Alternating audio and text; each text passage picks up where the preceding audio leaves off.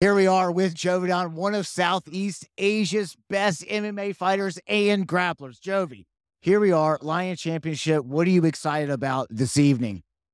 Yeah, uh, hello, this is Jovidon Khojaev. No, one of the the best in Southeast Asia and best in future future in the world, inshallah.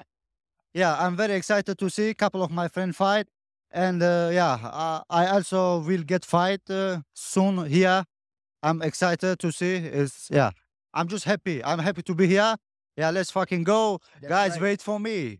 Lion Championship. Give me fight, give me opponent. Let's fucking go.